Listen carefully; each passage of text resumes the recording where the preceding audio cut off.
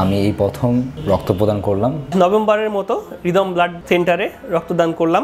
বিভিন্ন দুর্ঘটনায় যাদের রক্তক্ষরণ হয় অপারেশন জনিত কারণে যাদের রক্তক্ষরণ হয় যাদের শরীরে রক্ত শূন্যতা আছে ডেঙ্গুতে যাদের শরীরে প্লাটিলেট কমে যায় যারা পুড়ে গিয়েছে এই ধরনের রোগীদের শরীরে প্লাজমার সংকট হয়।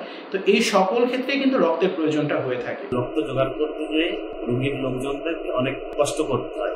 যারা রক্ত দিতে ভয় পান ভয় পান যে না রক্তদানের পরে কোনো সমস্যা হবে কিনা আমি তাদেরকে বলতে চাই না রক্তদানের পরবর্তী সময়ে এমন কোনো সমস্যার সম্মুখীন তারা হবেন না। রক্ত দিলে আমরা একটা মানুষের জীবন বাঁচাতে পারব। এর মাধ্যমে আমাদের সমাজে অনেকগুলো মানুষের জীবন বেঁচে যাবে। আমাদের দেওয়া একটা ব্যাগের কারণে একটা মানুষের জীবন বাঁচতে পারে। যিনি রক্ত পাচ্ছেন তার জীবনটা বাঁচছে সে সুস্থ হচ্ছেন এটা যেমন একটা সুবিধা আমরা যারা রক্ত দিচ্ছি সেটারও কিন্তু অনেক সুবিধা আছে। যারা ডক্টর হয়ে গেছেন যারা ইন্টার্নি করেছেন তারা দেখেছেন সার্জারি গাইনি অর্থোপেডিক্স মেডিসিন ওয়ার্ডে রক্তের জন্য কতটা হাহাকার থাকে? রক্ত এমন একটা জিনিস যেটা সারা জীবন আমার শরীরে সঞ্চয় থাকবে না। প্রতি চার মাস পর এই রক্তকণিকাগুলো ভেঙে শরীরে প্রসাবের মাধ্যমে বের হয়ে যাবে।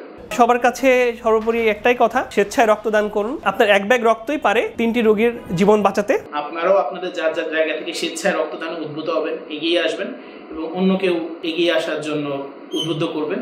আপনার রক্তদানের কারণে বেঁচে যেতে পারে একটা রোগীর জীবন। আমি নিয়মিত রক্তদান করি রিদম ব্লাড সেন্টারে। আপনিও আসুন রিদমে রক্তদান করুন।